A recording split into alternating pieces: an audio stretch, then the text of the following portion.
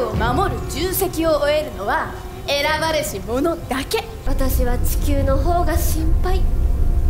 信じてた話と全然違う。君はあんなにも苦しんでたのに。